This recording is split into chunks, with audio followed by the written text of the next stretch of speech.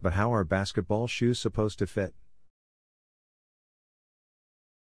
The most important factor when selecting a basketball shoe is the fit.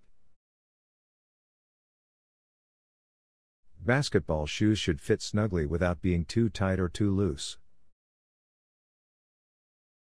The shoe should be secured to your foot so that you can move comfortably and safely in all directions.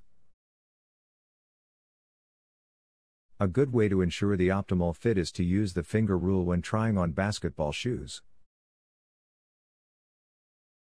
With this rule, you should be able to fit one finger between your heel and the back of the shoe when it's laced up. If the shoe is too tight, you won't be able to fit a finger between your heel and the shoe.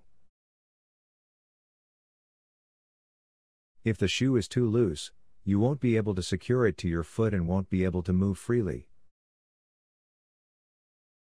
When you try on basketball shoes, you should also check the arch support. The arch should feel comfortable and provide support when you are running, jumping, and landing. The arch should be neither too high nor too low, and the midsole should be cushioned for extra comfort and stability. The upper should be breathable and light to allow for easy movement and to help keep your feet cool in hot weather. The sole should be flexible and provide adequate traction for improved control.